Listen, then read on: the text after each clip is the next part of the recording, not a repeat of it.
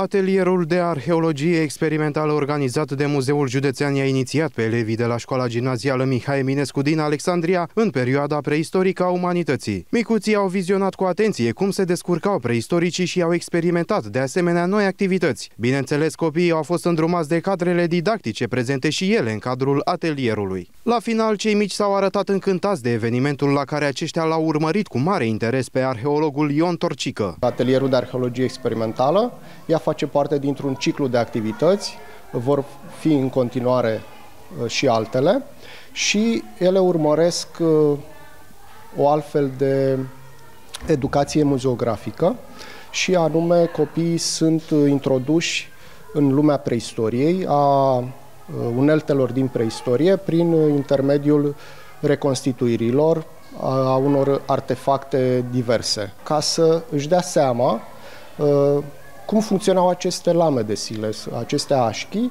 Le-am dat replici și, bineînțeles, ca un prim pas, i-am pus să pur și simplu să decojească o nuia de lemn ca să-și dea seama cum funcționa și dacă au succes. Bănuiesc că activitatea uh, i-a încântat. În această săptămână desfășurăm activități în școala altfel.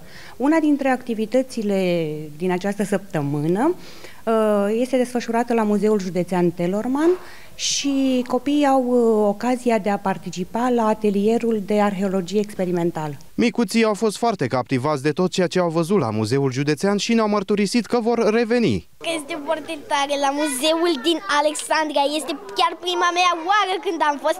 N-am fost niciodată și asta e tocmai prima oară la care eu sunt și vom face din bețe arme de pe vremea oamenilor preistorici, adică oamenii de peșteră. Da, îmi place foarte mult, la nebunie. Putem să facem arme din, din bețe și putem să facem și din roca aceasta arme și am aflat de niște animale antice. Am, am aflat cum, uh, cum trăiau strămoșii uh, acum 10 milioane de ani.